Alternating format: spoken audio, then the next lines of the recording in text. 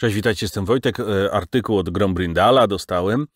Astragot, żelazna ręka. Zmienimy świat w naszą domenę, krainę popiołu i poczerniałych kości naszych wrogów, aż pozostaniemy tylko my i te połamane ciała, które kulą się u naszych stóp, powiedział Lord Astragot. Astragot, żelazna ręka, najwyższy kapłan Haszuta, to najstarszy, żyjący krasnolud chaosu, czarodziej, prorok Haszuta. Kiedy był u szczytu swoich mocy, był najpotężniejszym czarownikiem, który kroczył po równinie Zarduka od tysiąca lat. Teraz jego moce zaczęły słabnąć. Jego ciało powoli ulega skamienieniu. Dziesięć lat temu skonstruował mechaniczne urządzenie, za pomocą którego jest transportowany z miejsca na miejsce. Jego nogi już dawno przestały działać, a nawet ręce zamieniły się w kamień.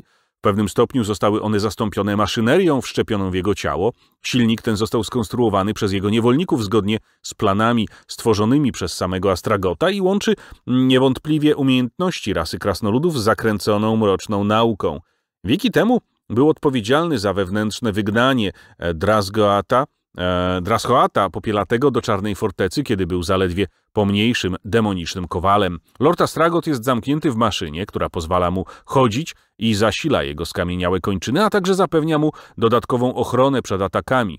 Jego napędzane parą tłoki, które zastąpiły mięśnie i ścięgna Astragota, pozwalają uderzać wrogów siłą mechaniczną. I tyle, jeśli chodzi o informacje o Astragocie. Niestety nie ma tu nic więcej do, do przeczytania. Dzięki Wam bardzo za wysłuchanie i trzymajcie się do następnego razu. Cześć.